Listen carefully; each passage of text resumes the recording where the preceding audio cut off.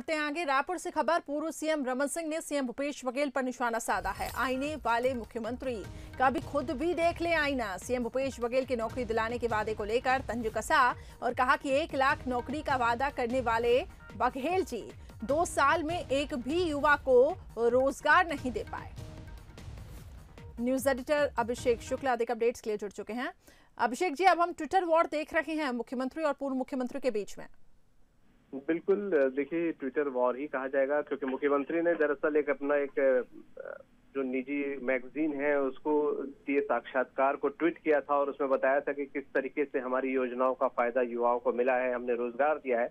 उसी पर तंज कसते हुए पूर्व मुख्यमंत्री रमन सिंह का ये ट्वीट था, जिसमें उन्होंने कहा है कि लाखों नौकरियों का वादा आपने किया था, पर एक भी युवा को आपने नौकरी नहीं दिया। तो रोज़गार को लेकर, युवाओं को लेकर और खास तौर पे घोषणा पत्र को लेकर सीएम और पूर्व सीएम के बीच इस प्रकार का वॉर चलते रहता है। और इस बार सीधे तौर पे मुख्यमंत्री को ही निशाने पर लिया है। पूर्व मुख्यमंत्री ने उनके ही ट्विटर को टैग करते हुए उन्होंने ये ट्वीट किया है तंज कसा है। तो ये लगातार इस प्रकार का आरोप प्रत्यारोप का दौर चलता रहता है और बहुत जल्द अब कांग्रेस की तरफ़ से भी इस पर रिएक्शन आएगा।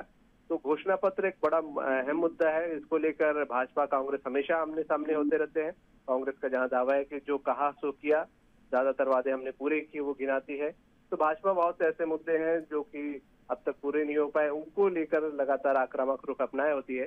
तो ये सियासी गतिविधियाँ आरोप प्रत्यारोप लगातार यहाँ पर छत्तीसगढ़ की सियासत को गरमाते रहते हैं। जी चलिए बहुत बहुत शुक्रिया हमारे साथ जुड़ने के लिए। तो ट्विटर वॉर पूर्व सीएम और सीएम के बीच में हम देख रहे हैं कि किस तरीके से अब एक दूसरे पर तंज कसते हुए नज़र आ रहे हैं। हालाँकि अभी इंतज़ार करना होगा कि कांग्रेस की तरफ़ से इस पे क्या कुछ प्रतिक्रिया सामने आ रही